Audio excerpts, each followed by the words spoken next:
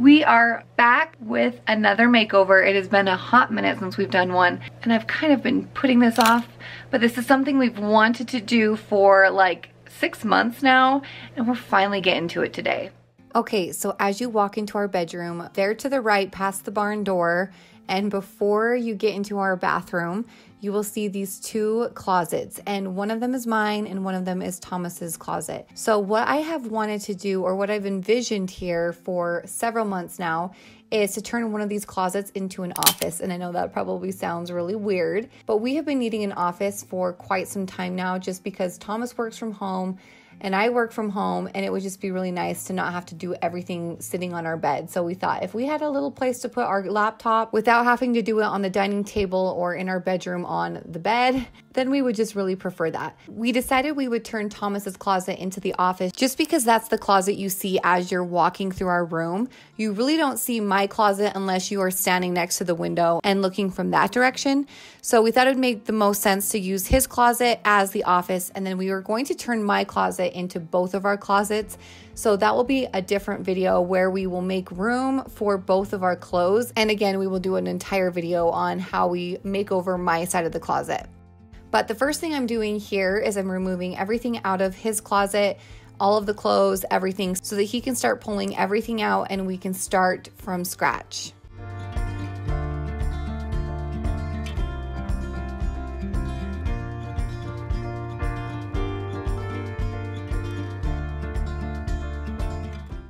Wow, there's like so many BBs on the ground. Each one of these has Russ's name on it. I can see it already. Oh yeah, save as many. Is this your block belt? All right, somehow all of this fit in that tiny closet. We have a lot to go through in order for this to fit inside of my closet as well as my clothes. Also, look how stinking cute. By the time you guys are watching this, he will already be a month old. So crazy. My first step is just to remove everything in the closet that doesn't need to be here. So I'm going to start with these doors and I'll re remove around the trim and make sure if there's any holes I'll fill them. And then I'll start removing the stuff inside, which is probably going to create damage because in these old houses, instead of using, they didn't have like pin nails back then, they had actual oh, nails, they would Mom? just sink them. You found a stud. You found a stud. Am I a stud? That really worked on me. I know. Wow, so cool. I don't know what cut you off, but basically they use nails instead of pin nails, right? Oh yeah. They use nails in these old houses instead of oh. pin ah! nails. So anytime they would sink one into just a piece of trim, they'd sink it into the 2x4 or the stud. So it's like, it doesn't just rip the nail out, it rips the sheetrock out and it's a disaster, so. It's been fun, right? Real fun. mess when I start to tear it up. I'm hoping it's, I'm hoping I'm wrong on this one and they just miss the studs and shot it into the sheetrock. These are so simple to pull out. I don't know if you guys have ever pulled them out before, but you just pull up, pull the out, and the top falls out. I've seen people like unscrew the track and try to figure it out. These wheels are spring loaded and so is the bottom, so they're real easy.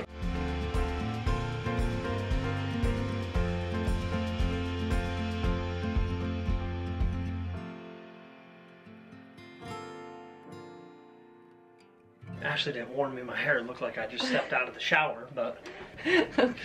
I had too many alfalfas. Ashley made me put a hat on. All right. No, no, no, no, Mike, no, no. if you're going to use multiple tips for your bit, okay, when you're switching out your drill tips, okay, I always suggest putting them right back where they go. Like, I can't tell you how many of these little sets. I have like 10 of these, but I probably bought a hundred of them because like I'll set a bit down on the ground or I'll set it in my toolbox and I'll never find it. So when you're transitioning, going back and forth, always put them back where they go.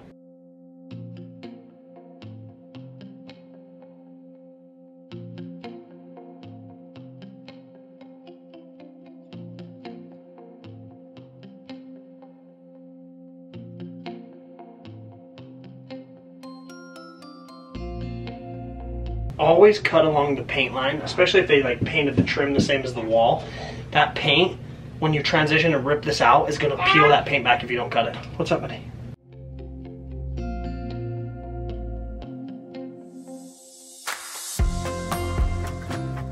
Check this out, this is what I'm talking about. Those are the nails all trim is done with in homes like this, and shelves. Those are giant.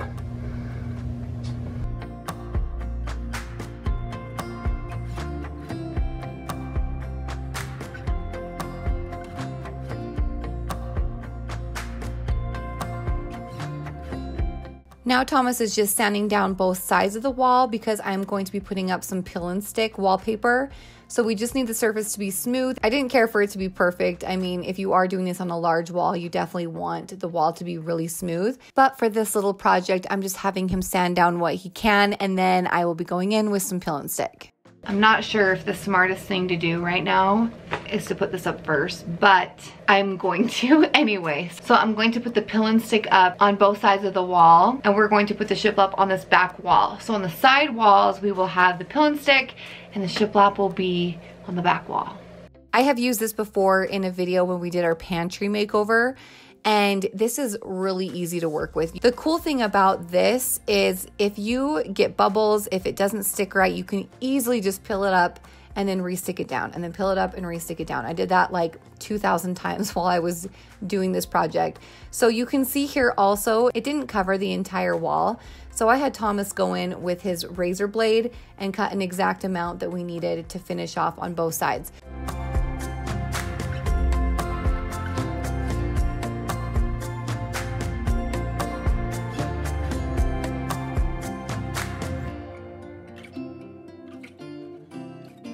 We are actually using different shiplap than we normally use, which I know is probably shocking to you, but this is the stuff you can actually buy just already made. I'm pretty sure we got this at Home Depot. I don't know if Lowe's has it for sure, but it's like tongue and groove shiplap. So this came out, I believe, 10 feet, and he cut off the exact amount that he would need to do our closet. And by some miracle, nine boards fit perfectly in our space. So he didn't have to cut any in half, which was really nice.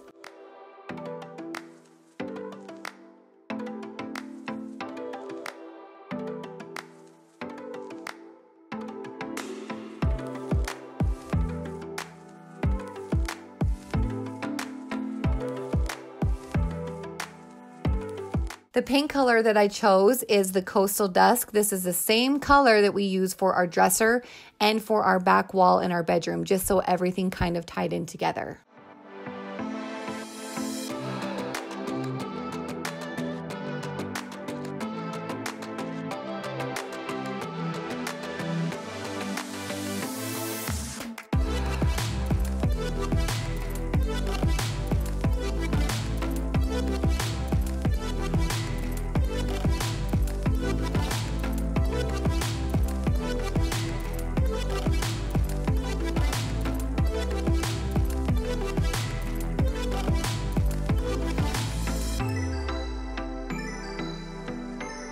You know when you finally get to something like something super simple as in painting the trim white and you wonder why did that take so long for me to do that? Look at the difference. Like, ew. This color, whatever this color was, I'm so glad to be rid of it. We got this at Lowe's, so he will just be cutting this so it fits perfectly into our space. Our space is a lot smaller than 72 inches wide, so he won't be needing all of this. We actually are going to use some leftover board to make a shelf right above the desk. But here he is just using some scrap pieces of wood we had in the garage, and he is pin nailing this into the wall so that we can mount the desk on top of this.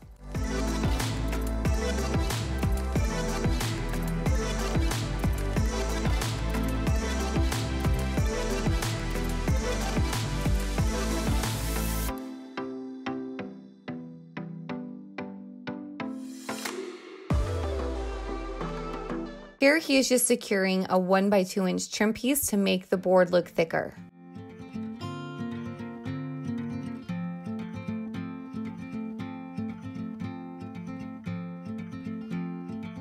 Look how cute and little. This will actually go a long way. So we're doing the color Honey in the brand Minwax. And this is what we've done in our bedroom. So we're gonna stick to that so it all matches.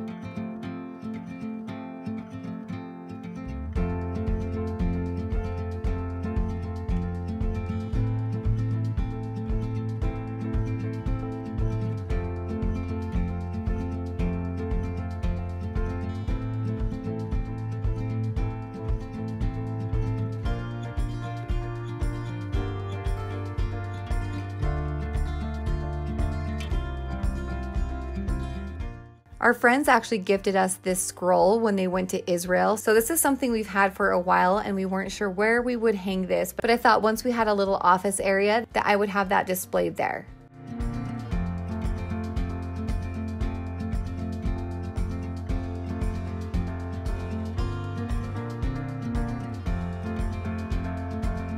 We are both really happy with how this turned out. We were able to do this entire project in just a few hours. So we picked a day and we knocked the whole thing out within a few hours. We let it dry overnight before I decorated everything but we did have it done in just a day. So if you're needing a little office area, you could easily turn any spare closet that you have into a little office and you could also knock it out in just one day.